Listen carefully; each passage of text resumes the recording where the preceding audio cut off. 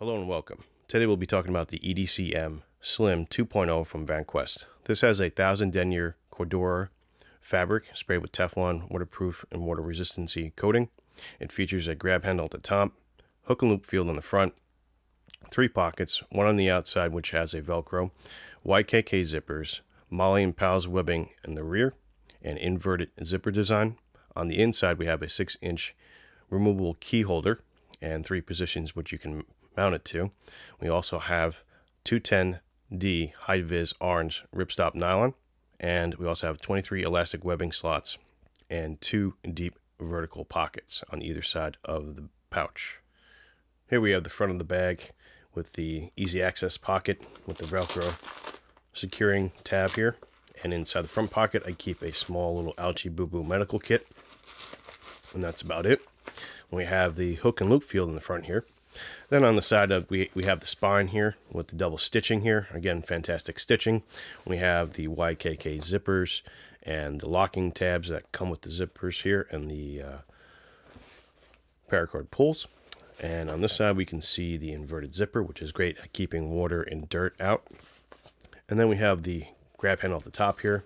Flipping over to the back, we have the three rows of MOLLE and PALS webbing. Two tabs down here that are sewn, and the two tabs that are sewn up here for the grab handle. And that's pretty much the outside of the Slim. Let's open it up and show you an example of what you can put inside. This is a work in progress and not my final uh, packing of the product. I plan on keeping this somewhat empty. But let's go over some of the items inside. We can see the webbing and the 23 channels offset each webbing here. We can see the 210D high vis nylon backing here very very good. And it's ripstop which is good. We have the six inch removable keychain holder and the mounting points in here one two and three. And we have the two deep pockets in the back here. So one here with my handkerchief in it and it goes all the way down to the bottom here. And this side here with some IBX cleaner. And I do have some deep wipes because I work outdoors. So I have that in there as, as an example of how you can pack that on the bottom row here of the webbing, we have a small compass in the bag, which kind of keeps it secure in the webbing here. We have some water purification tablets. We have some hair bands, which I use as rubber bands. And then in this bigger channel, uh, underneath the small main channel on the center part here, this is why I like the VanQuest design team's ideas. It works very well.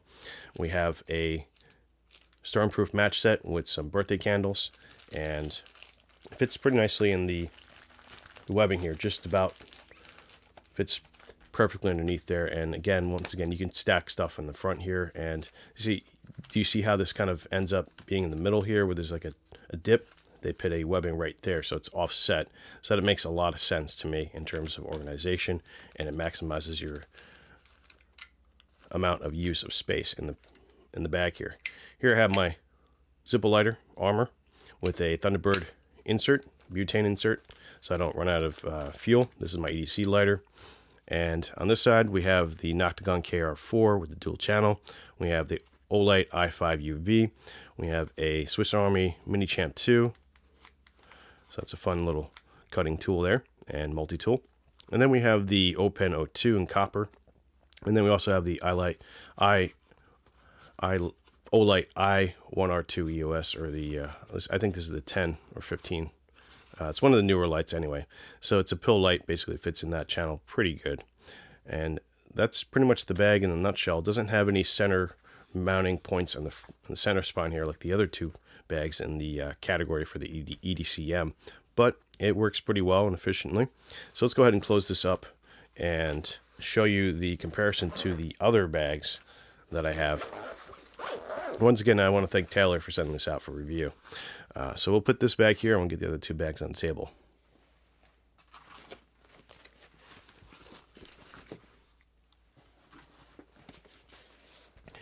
Okay, so we have the EDCM Huge 2.0, and you can see it's a pretty thick bag. This is my electronics bag. This is a recently finished project of mine. This is a, another EDC bag that I made. This is the EDCM Husky 2.0, and we got the Slim. Let's turn them on the side so you can see the thickness comparison. Don't mind the extra crap on the back here, it's just the extra stuff I added with the bag. So we can see this is the thickest out of all of them. This is the second thickest in the lineup, and this is the most slimmest, hence the name Slim. So it's pretty straightforward. And that's the comparison for these bags here on the outside. Overall, some final thoughts on the bag. I think it's a great, high quality product. Uh, we can see the double stitching on here, so the stitching is well done. It offers a lot of options in terms of organizing your gear on the inside, and it relatively stays slim, even with some bigger items packed into the bag here. Perfect for pinning in your big bellow pocket when you're working or just keeping as a side pouch or something in your bag to organize for the day. My use for this is going to be a changing type of EDC bag, meaning I'm going to keep it empty and whatever items I come throughout the day, I'm going to swap in and out of the bag here. So that's why I have some empty channels here and it's not fully packed like my other bags. Overall, I recommend to anybody who's looking for a high quality organizational pouch. VanQuest has been making these pouches for years. I've been using their products for years and I use them at work and I will always recommend them to anybody who's looking for some more quality type of bags out there.